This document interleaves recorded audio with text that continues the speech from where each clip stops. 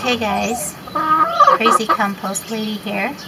Today is March 18th and um, we just had a great big snow. It has all melted in. Everything's really muddy right now and let's take a little garden tour and see how everything is growing. Here's the chickens.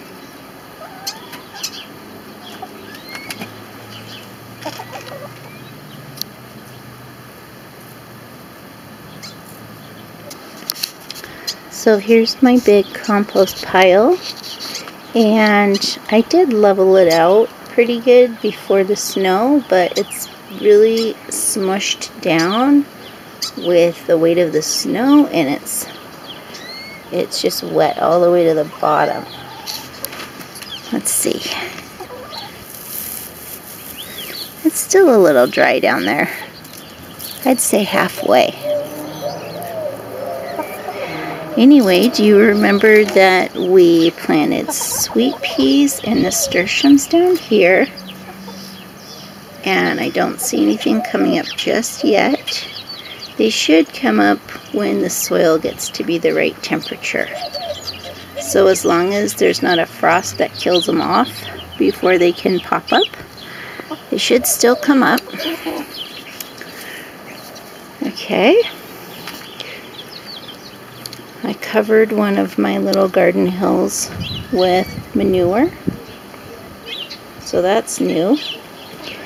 But down here, this is where I keep my rhubarb, which my mother sent me in the mail. And years ago, and then when I moved, I brought it here with me and you can see this is what it looks like when it's just popping through the soil in the spring. See these little spikes and then you can see the leaves just starting to unfurl. So the spike will come up and then these leaves will unfurl. Have you ever had rhubarb pie. I wonder. My kids ask for it all the time. Okay, now do you remember the little cold frame that I made with the window? We're gonna, I've got it popped open here. And the snow actually seeped in. I watered it a little bit because there were a few dry spots. But as you can see, Last time we had a few little sprouts, but now I'm not sure if these ones are weeds or carrots, so we'll figure that out later. But we've got some mustard greens right here. It's okay if they're too close together because um, when they get a little bigger, I can always separate them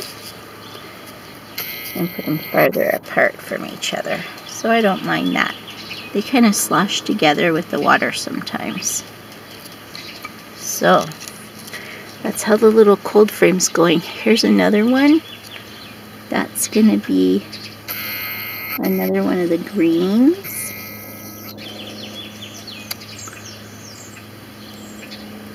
And those look like lettuces right there. Okay.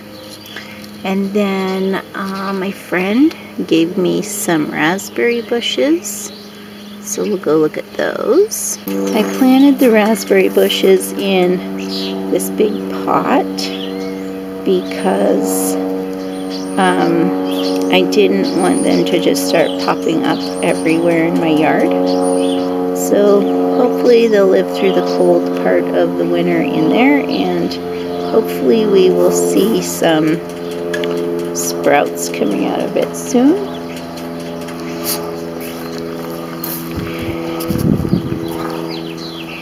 And over here in my flower and herb garden, my sage never really died over the winter. I did sneak a couple of raspberry bushes back here. Gorgeous. Maybe don't mention that to my husband. I just put him there just in case the other ones don't live. But look, this one actually has some little leaves coming off it. Oh my goodness.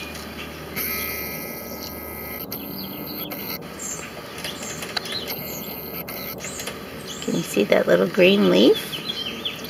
Interesting. Yep, that one's just popping out all over the place actually.